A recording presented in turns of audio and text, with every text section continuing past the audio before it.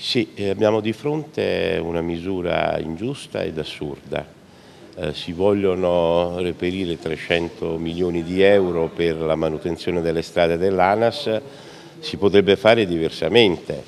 Tra l'altro una parte multe, dei proventi delle multe sulle strade dell'ANAS vanno all'ANAS e si utilizzino quello oppure si utilizzano le risorse delle frequenze che si mettono a gara e che vengono liberate dal digitale terrestre.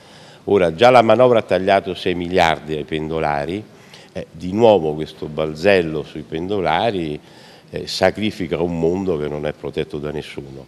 Raccordo anulare Salerno-Reggio Calabria e anche la Roma-Fiumicino insieme a tante altre tratte sono davvero un'assurdità un'ingiustizia e noi ci batteremo perché domani il nostro emendamento sia approvato dall'Aula.